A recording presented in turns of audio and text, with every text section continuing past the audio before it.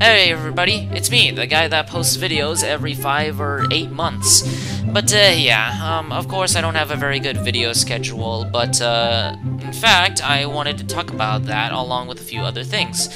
So, um, I might post, um, one or two videos, like, um, every week or so. I'm not certain how it will go, but I'll try the best that I can to post videos more often than what I did before.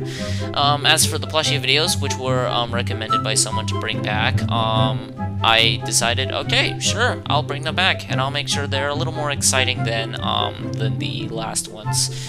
Um, for maybe reaction videos, I don't know if I'll bring those back, but, um, who knows, maybe I might bring them, so that will make, that will probably, um, be in the future.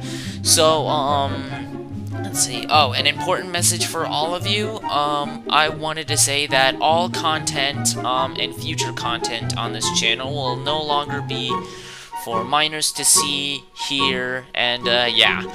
Which means that there will basically be swearing along with a bunch of other content that is not for uh, for you little people to see.